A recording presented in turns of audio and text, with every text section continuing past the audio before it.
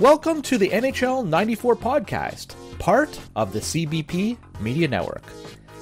This podcast is dedicated to the greatest game ever developed, where I will talk about the development of the game, tournaments and matches, our stories about NHL 94, the people that make up the NHL 94 community, the games won, lost, and the chirps that need to be heard around the world.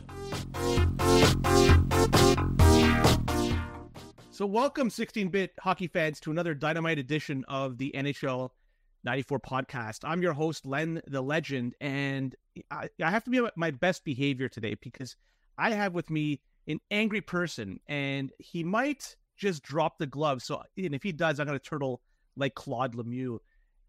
Angry Jay, thanks for coming on the show. Thanks so much for joining us today. Thank you for having me. I hope I don't have to keep you too honest, that we could just keep the gloves on and, and keep this civil. Well, uh, that's my intention. I'll, I'll, be a pest, but I can't drop the gloves. I'm a terrible fighter. Hence, I turtle at every opportunity. So, like, I guess the question is right off the bat: Who the heck is Angry Jay, and and why are you so angry?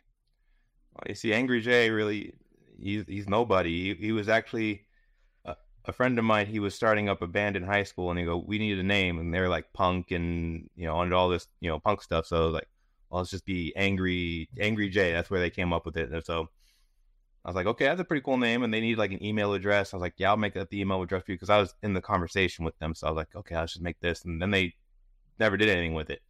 So I was like, well, if I'm gonna go online, I don't want to just be me because I yeah I'm, I'm kind of a private person. So it's like I'll just be this person that has nothing to do with me, and I'll add on my favorite hockey player's number, Doug Gilmour, at the end, ah. and just run with that. So that's that's where at. I came from. So I'm not Jay. My name's actually Greg. Um, so and I'm not, you have a cat there too. Yeah, I have a cat. He's he likes his attention, so he may pop on as a guest uh, star with me um, from time to time. But um, yeah, that's that's who Angry Jay is, and I just assumed the identity. Sounds good. Well, if your cat wants to replace me as the host, I'm more than willing just to pass off the headphones to your kitty cat, and uh, maybe he'll do a better job than I. Is it a he or a she? That's a he. He's pretty cute. Yeah, maybe he'll do a better job than me. Not good with conversation, definitely not in leading in you know a podcast. so let's not you know put too much pressure on him. It is his first uh, appearance on camera today. He's doing a fine job. Now, I know you said you, you want to be private. There may be some people that just want to learn a little bit more about you because you're kind of a legend in the uh, NHL 94 community. What could you share about yourself in, in terms of how you came into NHL 94 and started playing it? Uh, so the story is probably fairly similar to a lot of people. My location was just different. So I'm been living in California all my life. So I, I'm almost 40 years old now. I'm getting there, not quite, but close enough to where I was definitely a part of the Wayne Gretzky expansion and influence. So I think when I was about seven or eight years old, a guy around the corner from me had NHL 92. So we started playing that first. And uh, see, we didn't really know much about hockey. We thought it was too hard to score on the goalie. So he always asked me before the game, it's like, okay, we're, we're going to pull our goalies. This is the only way we can play because otherwise we don't score. So, like, all our games are like 20 to 16, 22, 18. It was just nuts, you know. And he loved being in Detroit. So, first hockey player I learned aside from Wayne Gretzky was Steve Yzerman. Oh. Um, so I, I don't know who this guy is, but apparently you love him. So, um, it, it, it piqued my interest, and I started getting a Sega Genesis just a few months after that. And so, like, the, one of the first games I rented was NHL '94 because I enjoyed playing that video game. I San Jose Sharks were pretty new; they were pretty hot. They were like making a playoff push at the same time that I was starting to learn about hockey. So, picked up that game, and I was like, "This is this is the greatest thing ever. I don't want to play anything else for the most part." So, played NHL '94 a lot. Um, kind of didn't talk to that person too much longer after that, so I didn't really have anyone to play the game with. so, and there wasn't a lot of hockey fans in California, especially where I was, because it's just like Central Valley. We weren't really that close to the Bay Area or LA. Um, so a lot of a lot of computer games for me versus CPU as I was growing up. I tried NHL 95, tried to trick myself into that being a better game, and I just couldn't get there. Um, because all those single player functions were actually much more beneficial to me because I didn't have anybody to play with for the most part. I could occasionally talk someone into playing a couple games and then, you know, they'd lose interest for whatever reason. Um, so I played 94 for probably six, seven years up until I got a PlayStation and kind of moved on to NHL 99. And you know, went through college and one day I was just looking at a laptop after, you know, after I drove my friend to his apartment uh, by his college and just typed in NHL 94 randomly into a search engine. I'd never done it before by that point. And I landed on NHL94online.com mm-hmm. and, and I'm just completely blown away. There's online leagues, there's information about the game posted, there's forums. I, I was completely blown away. So I got home like at midnight and first thing I did the next morning was, okay, let's learn more about this. How do I get online? How do I play? Can can I play just regular games without getting into a season? So that was the start. Basically, I've been online playing for 17 years now, on and off. Holy. Um, I, I, I signed on to the forums in 2006 for the first time. So that was um, just the beginning, I suppose. And I've never really looked back. It's opened so many doors for me that I, I could have never pictured what, what may have happened after finally getting to play people online and play with another person in this game on a regular basis. It's truly incredible to do that, especially now in you know 2024, and it's relatively easy to do so. You could easily find a game, you go on Discord and just pop a, a note, uh, pop a message on there, Xy, and people will be DMing you left and right looking to play. It's pretty pretty incredible. But I want to take you back almost 30 years when 95, NHL 95 came out. I want to hear your thoughts. What was it about that particular game that it didn't resonate with you? Because a lot of other people in my shoes, I you know, I talked about it negatively at length, but I want to hear somebody else's opinion on it. So tell me why you didn't like it all too much. It, it just doesn't feel the same. It's, it's clearly not the same game, especially feel wise. And the feel of 94 is is everything. It, there's so many things that are simple about it, but the depth that you can get into it, it it's just unparalleled. 95, you don't have that same kind of depth because goalie control is different. The goalie takes more space in the net, um, so that head game is a little bit different. The skating isn't as clean. The puck handling isn't as clean. The passing isn't as clean. Um, I feel like there's more cheese goals in 95 where you can just go around the net and the goalie gets screened by all of those defensemen and they just kind of it's just chaos on that one post, and then the other side is just wide open. It's just um, the graphics weren't as good. I thought. I mean, they looked sleeker, sure, but they looked kind of awkward. I thought, whereas '94, everybody just they, they were more appealing blobs. I thought. no, that's fair. That's fair, and you know you share a lot of the same concerns I have. I mean, the the cheesiness of the goals. Um, that to be honest, it didn't bother me because I didn't play it. I don't think enough to really get to, into that that it bothered me. Just you're right. The engine was different. The graphics were different, and in my eyes, it was a regression in the series more than a progression, which is too bad. Now, going back even further, the original NHL '92 that you mentioned that you originally played with your friend, have you picked it up anytime recently? Because I have, and although there are some similarities with NHL '92 and NHL '94, the goalie is so much smaller in '92. I'm not sure if you if you remember that. it's kind of an accurate reflection because goalies were smaller in 1992. You could be five foot eight and you could be a goalie. if you're five foot eight, you're playing ECHL if you're lucky because these guys are all monsters. But yeah, um, I I really enjoyed '92. I have gone back to it. We actually had a league four or five years ago, I would say, online '92, and it's a really fun game because it's just fast. It's it, it still has that 94 in it at heart, but it's much. It's just a direct. It's a fast game. Um, there's no weight bug, so guys that should hit actually do hit. And um, there's a lot of posts. It's like Super Nintendo with how many posts there are. Just, so even if the goalie's not making the saves, you still have two pretty stout posts to to stand tall for you. You know, in in those sticky situations. But it actually was just in Japan uh, a few months ago. I went searching for NHL 94 cartridges and uh, EA Hockey cartridges. So it's the Japanese version of NHL Hockey. It's called EA Hockey. Um, I did find one copy in Tokyo.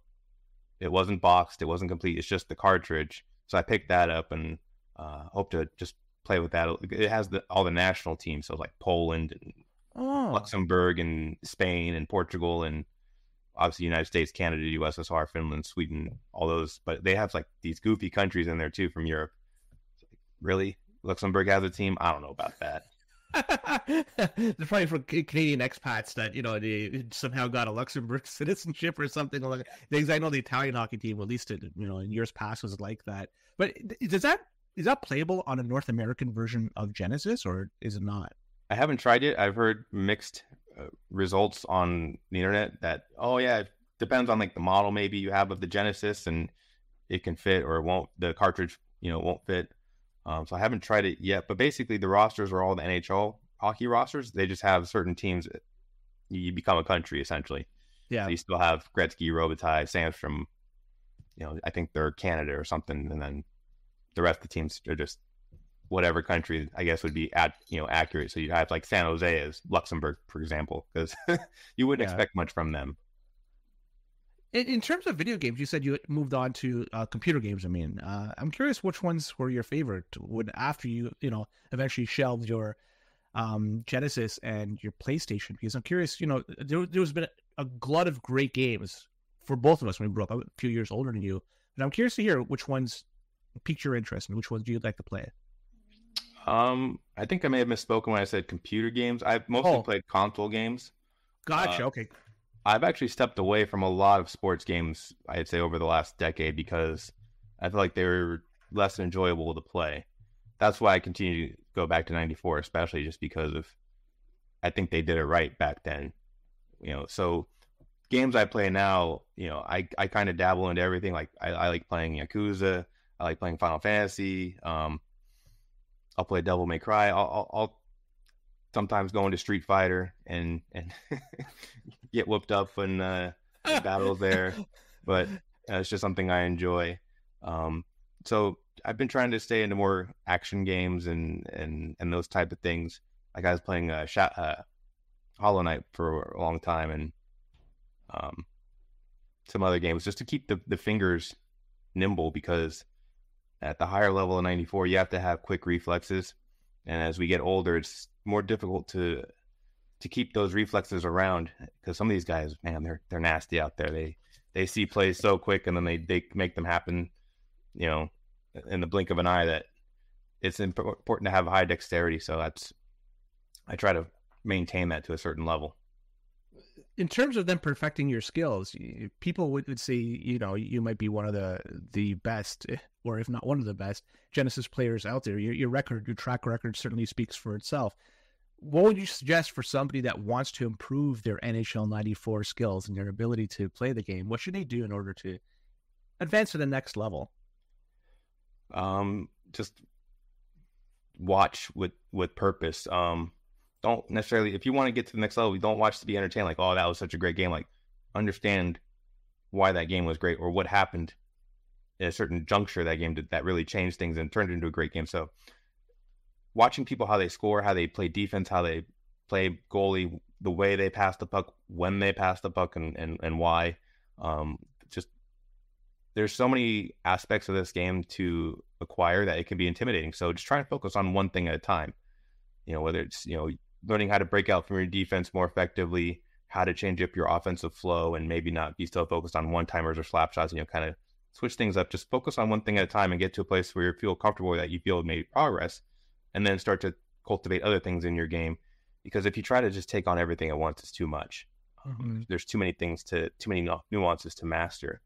Um, so you just have to be patient. You have to play a lot of games. You have to watch a lot of games. And the great thing about this community is that you can ask anybody a question um, and try and get more information about, you know, I'm doing this out on the ice, but you seem to be able to handle what I'm doing, or you you do this. Why do you do this? And then a person will will type out an explanation to you, like, okay, here's what I'm seeing, and, and here's what I would suggest you may look into doing. So, yeah, just get involved and, and just kind of use all the resources we have available to us what would you suggest about playing against a computer? Because a lot of people would initially, I guess, as an outsider, would maybe scoff at that because somebody may say that you're not going to be able to perfect your skills simply playing the computer over and over again. Do you find there's any value in playing the computer, or is it worthwhile just to focus solely on playing another person? There's definitely value in playing the computer because you can learn how the rest of the game interacts with you on it. Um, there's 12 players on the ice when you know there's no penalties. You control one. So there's 11 players out there reacting to what you're doing, and the more you learn about how those other 11 players react to where you're skating, when you're making your passes, while you're holding the puck. You know, if you're using your right winger to attack down the left winger, if you're going down the center or the right, you know, if you stop up at a certain point in the rink, like if you stop up at the blue line, how does everybody react? If you stop up inside the blue line, how does everybody react? So just learning how the AI interacts with everything else that you're doing, you can anticipate where these guys will be in a game. And then when you go play human, you can go, okay, I've seen this situation similarly before when I play computer. I'm recreating here. I expect a guy to be in this spot. You may not have to see them on the screen. You can just anticipate like they're going to come from off the screen onto the screen and they're going to be there. And you make that pass and they show up and you just tap in a goal or you make a, a play. It's very rewarding. Um, so there's plenty of value in computer stuff, uh, playing computer only. And then I still play the computer occasionally when I have time. I've been trying to work on my pass shots, and I find it as just a uh, organic way to try and work pass shots into natural plays. I see a lot of people use save states, and I don't think there's anything wrong with that because you get the repetitions where you just okay, same shot over and over and over and over again, and you, you get better at just the timing and that mechanism. But I prefer to have the the pass shots come up organically in a game. Like, okay, I'm I'm cutting across the defenseman here. I, I happen to have a pass shot. Let's try it, and then you just experiment from there. So I'm not hammering away hundreds of pass shots all at once, but I feel like the ones that I'm doing on my own time are more valuable because I can easily just go put that into a game somewhere and go, okay, I've I've made this move before. I've seen where this defenseman is and how there's an opening, and okay, let's try it, and it works or it doesn't. So there, there's there's so much value in, in playing with the computer. It's gonna hurt to be in receiving end of a goal of a pass shot. It, is it not? I mean, when seeing that take place and then all of a sudden your goalie give, I, I, it must be dis- disheartening to have that happen, right? I mean, am I am I marking up the wrong tree here? No, you're 100 percent right. I spent so many years online, just sometimes outwardly, you know, sand, sandbagging these things. Like, man, these are just the worst things ever. They break the game. I hate them. They can't react to them. Blah blah blah. After time, you get over that initial like, I hate this play, and you, you find ways to how to stop it. I mean, because there are ways to stop it, and or to to even prevent the opportunity from arising. And then you eventually get to the point where you go, you know what? I'm just going to try them too and see if I can them and, and make the other guy miserable instead of myself. You know, just give him the, the same medicine back. And I'd say it took me about 15 years to be willing to even try pass shots. Holy cow. in the last couple of years, I've worked them in. Look at the progression from hating it initially to then trying to defend against it to the point now it's part of your repertoire. It's quite a, a progression to where you are in terms of the pass shot. And now, you know, I again like I, hate when I see that happen, especially giving up a goal like that. Thankfully, I haven't yet, but I would imagine it's gonna absolutely suck. But I, I, I do have to ask you though a question with creating lines because you've done a lot, a lot of posts, videos, like uh, you know, you've done a lot in terms of creating lines. I'd love to pick your brain initially. Just this is a very broad question. If you could rank the skills from top to bottom, just what is the best skill you think a player should have if, if they have you know if they're top of the class what would be it and which like if you could rank them i'm curious what how you rank the order of all these skills oh that's that's a great question um well i would say speed and skating are probably number one because if you can't get to a spot then you're never going to be able to use the skill that you have to. Is that agility and speed? Right. So agility and speed, I would probably put at number one. I'd probably put speed first, but agility is right there because agility is very important. Um, second, I'd probably put weight because weight determines what you're able to do with the player, like how you want to play with them. If they're a big, heavy guy, they go down more easily to checks. So you don't want to have the puck on their stick for too long. So it kind of dictates what kind of player you want because if I have a guy that's just stick handling, passing, skating, but he's big, then I'm having to use him in a way that's very difficult for him to be used because he's just very easy to check. If you're very small, you know, if you're a little guy, you don't have to have all these skills. As long as you can skate, you can play defense at the very least. So I, I would say weight is also a big deal. And then you get into the actual skills. So I'd probably go stick handling first, shot power, then passing, then shot accuracy, and then awareness is just like this big unknown fog. and we all think, oh, he has a high offensive awareness, he does this, or he has high defensive awareness, they just never go play offense. They just sit back in front of the net. They're always available for you to take control of, and they're always in good position. Like we don't know. We we think they may um, help certain things, and then we also learned in the the recent documentary they did on Channel 4 that it's kind of like spheres, like of influence. Like they're aware of things from further away, or or or things like that, or they make passes to you know people within that sphere. Like there's more people available to pass to accurately kind of like that vision cone in Madden 06 that everybody hated. It's like, okay, well, if you put your vision cone on this guy, you're going to make a really nice pass over there. But if you try to pass it the other guy over there, you're who knows what's going to happen. So you could put awareness anywhere you want because we don't know. I, I'd go skating, weight, and then your stick skills, shot power. So, and then checking's kind of AI related. I, it's nice to have. It's not a high priority checking is the aggression in terms of how often the computer is going to be checking. Am I correct in that? Right. So if you have Ray Bourque, who's the, the six rated checker or 100 rated checker overall, he's just going to do a lot of checking. Whereas a guy who doesn't really check very much, like Mats Sundin, who's very low check rating, he's not going to be anywhere near as aggressive. Now, you said you put a lot of emphasis on speed and agility. Now, Paul Coffey has a heck of a lot of speed but there's you know maybe Lidstrom is has a lot of agility. So which of the two would you rather start, given each of their two attributes? Uh, for a very long time, I would have said Lidstrom because he's lighter, he's easy to handle, he doesn't really get himself into a whole lot of trouble. Excuse me, but he also doesn't create a lot of plays. You give the puck to Paul Coffey, and he's a fourth forward. It opens everything up because then you can just kind of let your three forwards in computer mode just do whatever they're doing to try and get open, and then you have this guy who's just kind of unlocking everything. Um, you're attracting defense away from your forwards with the with an extra forward essentially, and, and it just kind of opens up these doors. He's a little tricky to use because he is a very heavy player, but he has excellent skating, so he can elude players more easily, and he also has high stick handling, so he can also shrug off checks more easily when they do connect. Um, so I would definitely ice Paul Coffey these days. I even bench Lidstrom in, some, in certain matchups because Jason's a perfectly fine defenseman as well. Um, and it, sometimes it's nice to have another guy back there who's heavier to play with uh, Lidstrom based on what the other team has coming forward.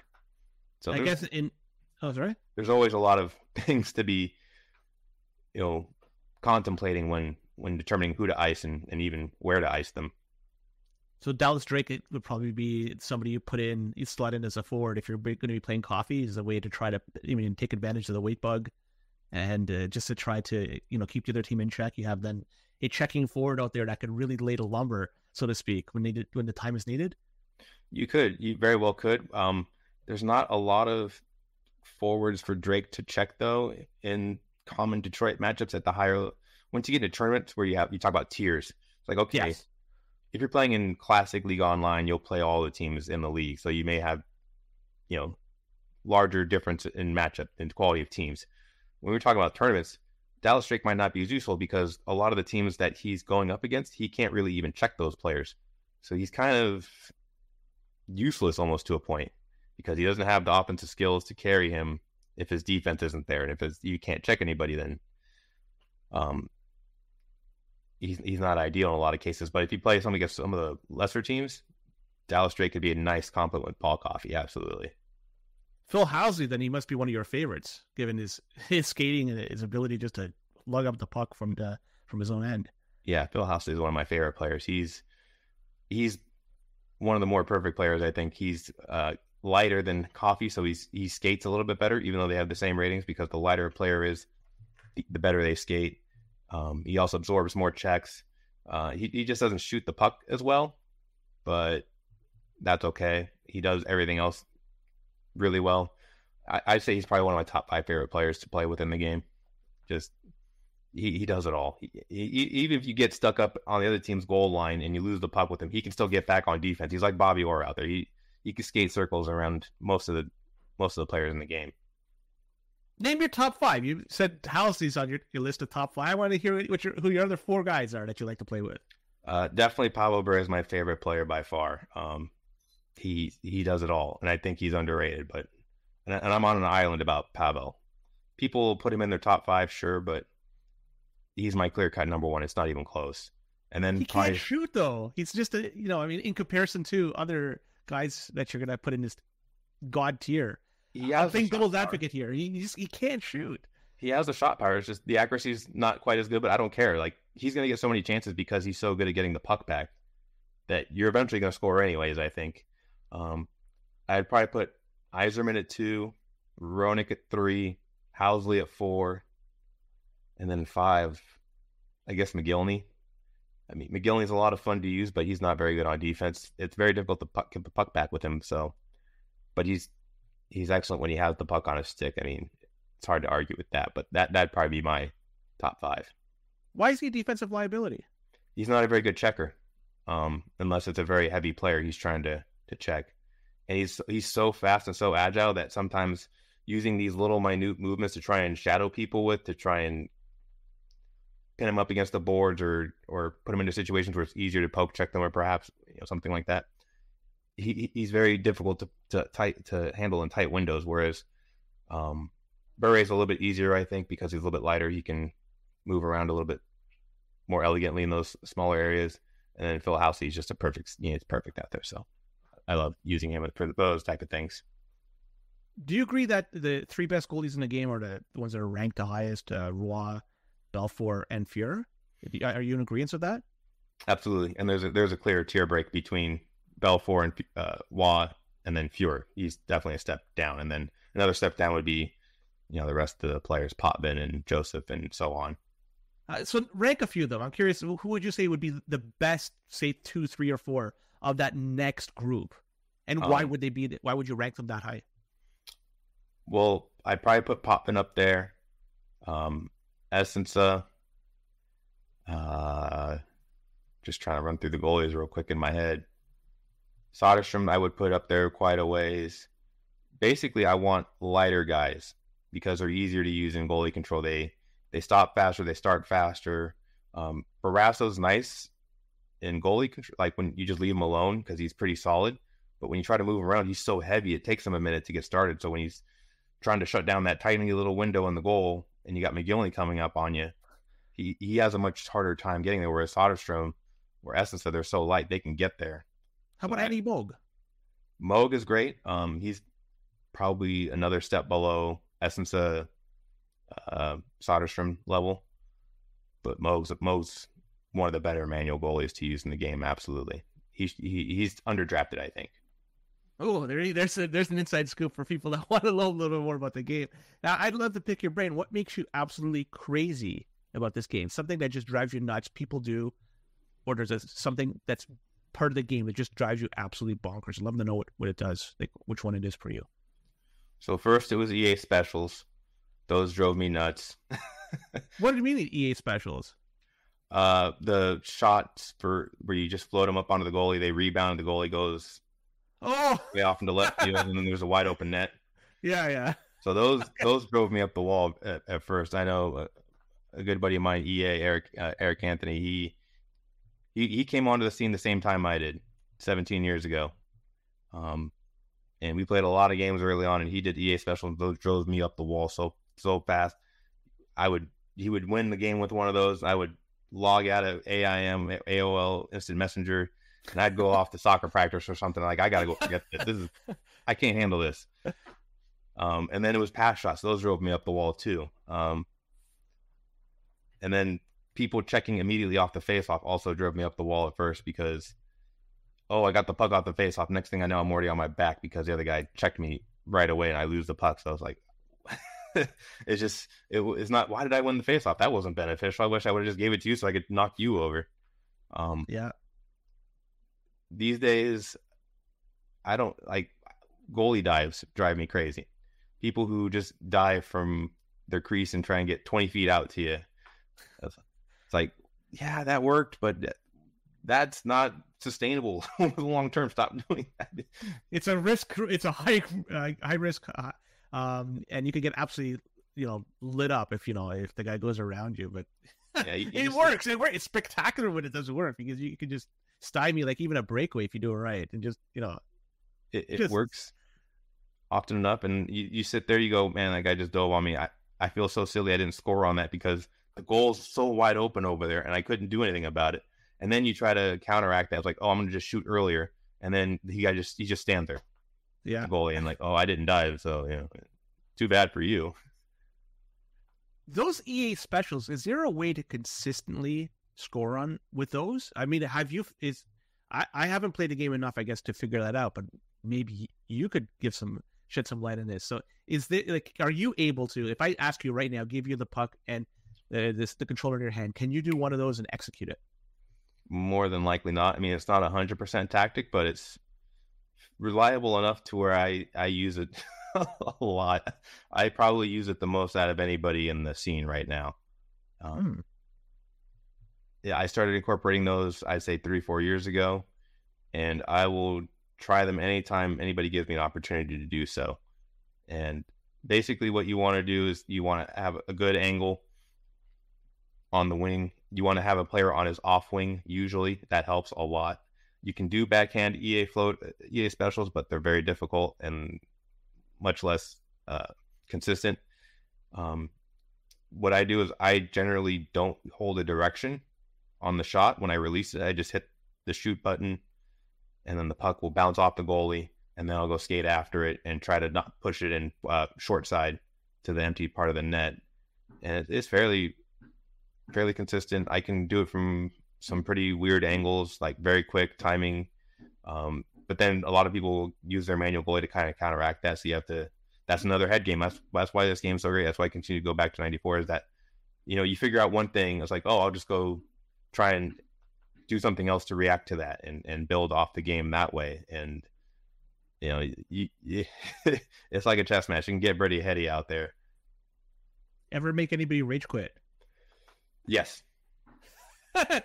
Lay it out. What's the scenario? What happened?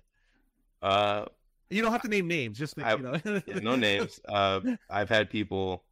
It, it, happens a lot less now. It used to, back when we were a lot less friendly with each other. Like when we didn't have live tournaments to meet each other at, it was much more. There, there was a lot more, like, I don't know, but like, not anxiety, but like tension between people. Like oh, we never have to see each other. We can just be crazy internet people and and be toxic. and you just do these toxic things in the game, and then people would rage quit and go, you know, go on the big thing, and the other guy would just egg them on more, and you turn into a big, big kerfuffle on the forums. that happens so often. It doesn't happen these this these days so much. Uh, everything's so chill. Like we've all just gotten into our old man stages where we're just like, yeah, everything's cool you're great. I can't wait to see you in like three months. You can do whatever. I don't care. Because I, I, know at the end of the day, we could have a beer and shake hands and like everything's great. So there's very few rage quits. And a lot of the people that do that type of thing, they don't last in the community for very long. The people that we have now and the people that come and stay are all very positive people. They're easy to get along with. They they want to learn. They want to have fun. They want to just play good games and you know, I, I just I don't see it a lot, and I try to stay away from playing very very new people. I want to let them get established first and get you know some some confidence and let them play the game and and play people in their level and eventually kind of make that progression because that's what I did when I started playing. I didn't go, well, who's the top person on the leaderboard? Let's go after him. like, no, no, no. It's like I pretended it was a ladder. So I started at the bottom rung, paid my dues, learned, went to the next one, paid my dues, learned, and just went up like that. It was a lot quicker to do back then because we were all pretty new to the scene. Uh, you know, back then, 20, 2006, the scene had only been around for a year or two, so it was easier to climb up and learn.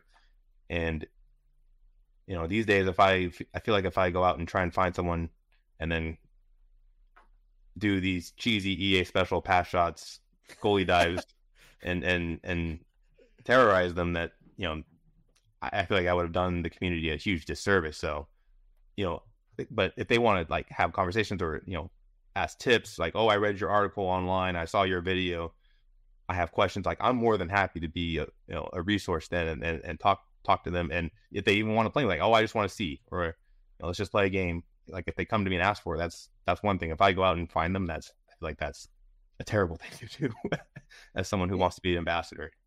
You just ruined my my day because I, I hope I was going to play you today and see if I could hold you to under 25 goals. But I guess that's not going to be the case, given you know that we've never. really, I'm kidding. I'm not going to play you. You don't, you don't want to play me. It'd be the you know just a, if you asked, we could play, and no, I, am not happy to. No, no, we're not going to do that. I'm not going to put you through this the, the pain and suffering of that. No, but yeah, I mean, you look at this thumb here, the callus I have built up, that's from years and years of playing NHL. No, no, I was kidding. Um, are you still doing videos? Because uh, last I checked on, on, your YouTube channel, it's been several years that there's been anything posted on there. I mean, are you doing it? If not, it's where are you doing it? So, uh, it's some doing the videos was something I've, you know, in the back of my head wanting to do. I'm not very technically savvy, so getting those videos that I had up there was difficult for me, even just to begin with. And then I, you know, I, I have um, other things that kind of also occupy my time. And um, I also changed jobs uh, into a, a, governmental job. So I try not to be online in the video capacity more than I, you know, want even more so. Like I don't mind getting online and, you know, joining a stream or doing this type of uh, event but like I feel like the more you, you put yourself out there, the more you can leave yourself open to other things. So I just try to, you know, um, get these situations where I think it's comfortable. We're like in a group setting and we can just, you know, it's more of a fun thing than me just like talking in it to who knows who. That's um, fair. No, yeah. no problem. No, so I, I, I just have to pick your brain on this because I should have asked it earlier. The A pass or A button, you know, when you have the puck and you press the A button, that puck goes flying. Have you ever found a way to take advantage of this as an offensive weapon? Or is this, you know, is just strictly like still just some utilitarian purpose? It's not useless. I've so a lot of one of the things I do is I like to experiment with the game, especially with COVID. It gave us so much more time to do these sort of things. And I think it was during COVID, it was like, what if I just hit the A button from the neutral zone, like pretend it's a dump it? And what what happens? How does everybody react? Um, how do not only just the computer reacts, but how do people react in trying to defend it themselves? So I found that it can be useful. It can be like a nice change up, a change, a change of pace to where just you just chuck it down there. Like if you have, if you're having issues passing the puck in a game, or if you're having issues cracking defense, like they're pushing up on the blue line, they're they're meeting you in the neutral zone to try and take you out, and they're being successful doing that. You, what I like to do is dump it in once I cross the cross the red line, and then watch those defenders just go up into nothingness, and then watch my forwards skate in because they all skate in at that point, and they usually go to pretty good spots. And you know, if the defensemen are just gone, then you have all sorts of open ice once you mm. get the puck back. So it can be useful in that type of indirect capacity. I haven't found too many direct passes where the a flip pass will be, you know, beneficial in any sort of way. But I, I think there there is some use to it, kind of just as like a, a changeup because you know some a lot of guys don't expect that type of play to happen. Yeah, between not just only that using it on offensive side of things, I find also on defensively, at least the people that I play with, nobody tends to use the A button to hook or hold or whatever to try to slow people down. Yeah, I think it's a fairly effective way of, of just taking somebody's timing off and just almost shutting down a rush. Especially if you're a fast guy, you just you hold him, you continually hold him. It's a pain being on the other side of things, but it's effective. And do, do people tend to use that on a higher level for um, using the the hold for games when you guys play? You're absolutely right that it can be effective. Well, uh, there is one player who will utilize a button hooks and holds, and that's Whalers might win. He's a fairly high level player. Like he, he will occasionally get into the A level, so he's you know he definitely has plenty of skill and he's been around for a while and he's learned a lot of things. And one of the things that he likes to do is try and hook and hold people, and it does throw off the timing. Like I've had guys DM me like, this Whalers guy. He won't stop hooking and holding me. What do I do? How do I get this guy off me? He's bugging the hell out of me with this with this strategy. And so I talked to them about it because I feel like there's a way around it. Um, you, you just can't skate right into the guy because that's what he wants you to do. He wants you to skate right into him because that's what he's expecting and he's going to do something about it. And I personally will use the hook and holds myself. I think out of most everybody else, I'm probably using it the second or third most. Um, so the I usually only use it um, for very specific reasons. But I started using it more once we had the NHL 92 online season because I had a very small team that couldn't check at all. The only thing I could do was sit there and hold people and just make their life miserable until the puck magically flipped off their stick. Which team and did you use, by the way? I'm curious. Montreal. They, they are notoriously lightweight in that game. Yeah. Yeah, but they squid they skate amazing. So if Yeah. you can a hold these people, you know, that are attacking your team, all of a sudden Montreal becomes a, a defensive juggernaut because they can skate and just get in people's way. And I noticed ninety two, there was a wider radius in which you could hook and hold people than there is in ninety four. So 90, 92 holds are more effective than ninety four, but ninety four is still effective enough to where you can use it. And what I've noticed is like, say I go to try and check somebody, but they don't go down, like they do the little dance move, but they still hold on to the puck. That means you can't check them again with that same player. Um, Oh, I didn't know that. yeah, you can't check the same player twice in a row with the same guy. So somebody else has to hit somebody on anywhere on the ice, or you hit, you could take that guy and hit somebody else, and then you can go back to that guy. But that's Oh. impractical with how things how fast things occur on the ice. So when those situations happen, and I don't really have an, another available defensive option, or I know that now that the guy can make a play to try and score a goal, I'll use the A button to hook and hold. That's like my last line of defense where I can't do anything to, with a B check, poke check, or a C check, body check to do anything about it because the game won't allow me at this point. So that's why I'll use the hooks and the holds, and because they're still they're very useful in that in that regard. What about poke checks? So you, you just mentioned it. I'm curious, is that a, strategy you tend to employ, or is it something that's just on the back shelf? You don't tend to use it all too much. I definitely use it a lot, especially if players are of similar weight or, um, yeah, especially if they're similar weight because it's difficult to do regular checks or the CB uh, bug checks where you, you, can actually check with the heavier player to take down a lighter player. But um, if they're, they're if they're the same exact weight or, or within one of each other, I tend to do more poke checks because it's just safer and it also maintains your position better on defense. So even if it's a situation where I could body check, um, it's like a way to hold your ground and not commit your defenseman completely. Because if you miss a body check and you miss it the wrong angle, they're gone. You'll never see that player again. And then you have to scramble. And, and against some of these other guys, if you're scrambling, they'll make you pay for it. Yeah, they- they'll take the, the slightest opportunity, turn it to advantage, and that's a goal. And then you're, you know, uh, that's a really good analysis. Screenshots. Do they mean anything in NHL 94? Having a defenseman or a few people in front of the goalie, does, does that hinder the ability of the goalie to make a save in any way, shape, or form? It's funny you mention that. So Super Nintendo, slap shots are harder, but we tend to believe that if there's a screen in front of the goalie or two, that's even better. That slap shots become a higher percentage option in terms of being successful. And then in Genesis, we're also packed about the slap shot in general because it's much easier to score with. That I don't even think we're paying attention to who's screening or not screening that. To, to be per- perfectly honest, we're all so scared that it's going to go in anyways, regardless. That we're all rushing to play manual goalie to try and stop it, you know, via that option. So that's a great question that I don't think we have a good answer to in Sega Genesis, especially. I guess it's over time we'll figure that out. And so, do you ever notice playing the game? Just at least for me, it seems like the game is hard coded in a way to give one team an advantage for a short period of time because there are you know t- times in the game I can't get the puck out, I can't make a pass. There's nothing I could do. Is this? Do you notice this? And is there? Do you think that the game is hard coded in such a way just to give a team an advantage for a brief period of time, or is just something in my head? it's in all our heads, if, at the very least. Um, I don't know if it's something hard coded, but there are games where you you you use like let's say you pick Boston. One game they look amazing.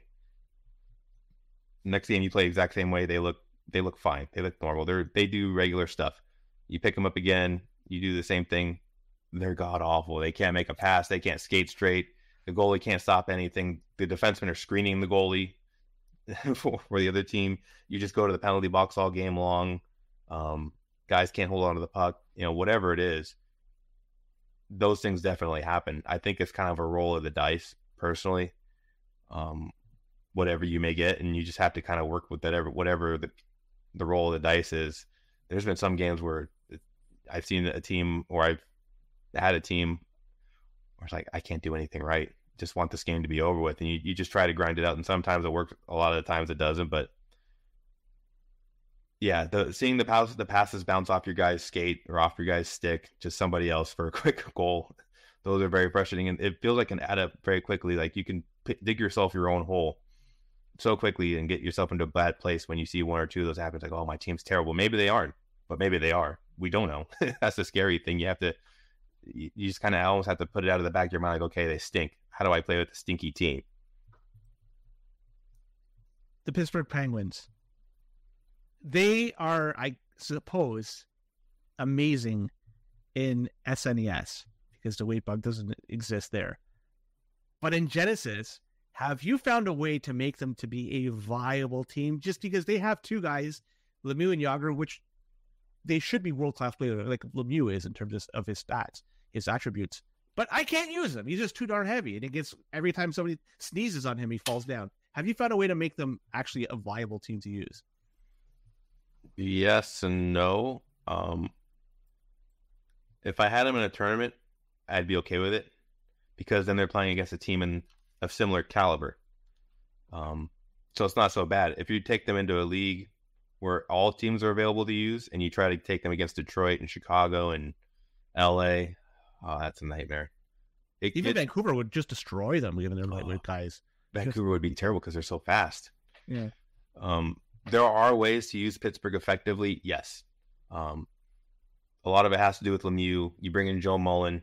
Their defense is actually pretty good as is. They're pretty smart. They close down a lot of passing lanes on their own. Barrasso's fairly solid. So they at least have that part figured out. Um, you could play defense with them. You could try and make the game very, very slow, but scoring with Pittsburgh can be troublesome at times because Jagr's not a very good shooter. He's actually a rather poor shooter. He does everything else pretty nicely, um, but he can't shoot. And then they don't really have a puck carrier to bring the puck up the ice effectively um, because Mullen's very slow, even though he's very light and he can possibly carry the puck up the ice. So I find that getting the puck up the ice, creating enough chances, you know, to even get three or four goals against those top teams can be very difficult. But um, they can also be very dangerous because if they're on, they clearly have, you know, Lemieux. He's the highest rated player in the game. Uh, you get him some space, he's going to take advantage of it. So they're they're you you would expect to be able to beat them, but they're very scary when they do get their chances because of Lemieux and Mullen. He's also a good shooter, but like the rest of their forwards all have a huge list of problems with, attached to them. So it's like you look at the bench, like I don't know where to go. I mean, this guy can do this thing, sure, but then like he's going to drive me nuts this way. Like if you put Kevin Stevens out there, okay, well he doesn't have a ton of shot power, and he's not agile, and he's, he's gonna get easily. yeah. So who's better as a team then, in your opinion, Quebec or Pittsburgh? Seems like they both have their issues. They should be able to, on paper, you know, I've watched them play live those years, and they were fantastic play fantastic teams. Actually, the Penguins were coming off just two uh, back-to-back uh, Stanley Cup wins. They got bounced by the Islanders that year, but nonetheless, um, who would you rather play with? Would you play with Quebec or, or Pittsburgh if you had a choice? uh, Quebec for sure. They have more options on the bench. So even if you don't like the starters, there's other guys that you can put in, and they're like, okay, these guys are still pretty good, and they're not as heavy as Pittsburgh. They're not as slow as Pittsburgh. I think they're more consistent overall with their skills. The defense is not as good, obviously, and the goaltender's not as good, but I feel like they can mix and match their pieces a whole lot better. Uh, you, you get Kovalenko, he's a pretty good checker, so you can utilize him some way you have so many good shooters. Uh, you guys got you got guys that can move the puck. Um, they're just not very fast compared to the Vancouver, Detroit's, you know, that echelon. But Quebec is definitely a scary team. If I had those two options, I'd quickly pick Quebec and feel very comfortable about it. That's fair. Curious, what records do you hold, if any? I saw, like on your YouTube channel, you had an unofficial record of the goal differential in Genesis, and I think it was 99 goals. But I know um, that record I think has been supplanted. Um, I forget what the number is, but yeah. So I mean, I'm curious if, if you hold any records that's you know that you could lay claim to and say that yeah, that's mine, and, and I still own that record. Uh, not officially in terms of most goals scored against a computer. I think it's like 106 or 107. Something now. like that. Yeah. Yeah, it used to be 70 or 60, 69 or 70. I forget what it was that Raf had initially, but yeah, we've increased it by 37 goals over the last few years, um, just by identifying the trick to pull the goalie. Where when you pull the goalie, you have maximum shot accuracy with your with your players on the ice. So I didn't know that. So every player has maximum shot accuracy once you pull the goalie. even Al MacInnis or Doug Wilson or whoever has low accuracy, they be, they become a perfect accuracy shooter. Not just 100 overall, perfect. If there's an open space that their shot power can blast by the goalie, they will score. Uh, no questions asked. Where if the goalie is still in the net and you do a slap shot, it'll go all over the place. Sometimes it goes in the net. Sometimes it goes in the middle of the goalie's chest. Sometimes it goes wide. Sometimes it goes high. Sometimes you know, it can do whatever it wants. It's much more volatile. Whereas if you pull the goalie, it's going to find that spot past the goalie every single time if their shot power can beat that goalie. So that's how we were able to increase our numbers so by so much over over that short amount of time was once we hmm. located that trick, it was just became well, also became a much more boring experience playing the game that way because all you do is you win the face off, you get it to one of your players, you do a slap shot, that's it. That's that's the whole strat. So does that same advantage also apply to the computer? Because I know if they're two goals down, they'll pull the goalie as long as they have the the puck in the attacking zone. Do they also get that same advantage where they have it, you know, godlike shot accuracy with all their players? I would presume. Um, I, I don't know the, how the code reads it, but I'm going to assume that yes, you would have um, the same accuracy boost for the computer as you would for a human. Ah. Do timeouts or changing goalies do anything in the game? Well, changing goalie usually makes your goalie worse, so there's that. Right. The backup Um, tends to be worse than the starter, but is there a tactical advantage for you actually doing it? it- maybe mentally, you know, you, you go, okay, I know my goalie's going to be bad instead of, well, he should stop this because he's good. So maybe you make better decisions based off of that knowledge. Uh, timeouts, we don't know if it does anything in non-line change, change games. I mean, obviously, it Uh huh. You know restores everybody's endurance in a line change game, but that's useless for our purposes since we very rarely play with line changes on. That's also just kind of a mental thing. It's like a mental reset. Um, guys will kid like, oh, if you take a timeout, I'm going to take my timeout to counteract your timeout, and I don't know if there's anything to that either. So it, it I think it's more just for take a deep breath, especially in live play where like okay, things are moving really fast. Couple BS goals. got to got to Yeah. reframe my, the mindset here. it's kind of like in real life. It just gives you a, a little bit of a breather mentally and try to reset. So it's we're past fifty minutes, and uh, you know I don't want to take too much of your time. I Respect, we booked an hour for this. I'm going to send you some rapid fire questions, and hopefully you could uh, give me some answers. So let's uh, let's dive into that one. Cam Neely, start or bench? Oh God, uh, on Boston bench, but I hate doing it because he's awesome. actually, I like actually learned to like him. Which backup goalie do you prefer to play over the starter? Uh, Berthiaume over Sidorkiewicz in Ottawa. Daniel the Bandit. I think that's it. Yeah, Nick, Bandit, yeah, right. yeah. Who's better, Randy Wood or Brian Skrudland? Uh, Skrudland, I like Skrudland. He's he's a smart guy. I can't stand Randy Wood. All he does is skate in straight lines. But you have uh, speed as one of your, your top attributes that you love, and he has that in spades. He has it in spades, but his his agility is so low that it counteracts his really high speed, and it's like you're a hot mess out there. I can't handle you. you gotta, if you're skating, you have to actually stop skating when you hit the blue line, and maybe you, you won't hit the board. I love playing with Randy Wood. He's so much fun. Do you prefer off-handed shooters on the wings? Example, do you, do you prefer a left-handed shot on right wing and vice versa on left wing? I- don't have a preference, but it depends on who the player is. If he can shoot, I will generally put him in on, on his off wing. If he's more of a puck hand like Dale Hawerchuk, I prefer to have him on his natural wing because he'll be more able to utilize his passing and stick handling from there. Most overrated player in a game, and you can use whatever criteria you want to consider overrated. If it's over if it's overrated by overall, Lindros for sure. He's he's very difficult to use. If we're talking about draft, Joe Sakic. Why? Why? Why would you consider him overrated? I'm curious your thoughts. Uh, he he just doesn't do anything at a high level. He's not worth his draft pick. I think he's a very good player. I would take him as my second forward, but as a first forward, where you generally have to take him, I don't want him leading my forwards. Most underrated player, and use the same criteria. Uh, in terms of uh, draft position, underrated. Oh man, I don't even. because I feel like we've gotten to a point where we understand who's. I'll, I'll go Brendan Shanahan. I mean, he's like Lindros. They go in a pretty similar spot in the draft, but he's a little bit easier to handle. I think he's a little bit lighter. He still has all those same skills that Lindros has, and uh, I really enjoy using him. Uh, underrated in terms of the game, just overall. Uh, Moog, you look at him; he's a low 60s goalie. Um, you use him, you go, man, this guy's great. He can start for me anytime. He's, I, from what I take, it sounds like a great manual goalie to play with, just given you know he's so light. Two versus two or five versus five? What's your preference? Uh, five versus five, Genesis. Two versus two, Super Nintendo. I love two on two Super Nintendo. It's way better than Genesis. Personally, Genesis or Super Nintendo? What's your preference? Uh, Genesis. I grew up with Genesis. I came on to Super Nintendo much later.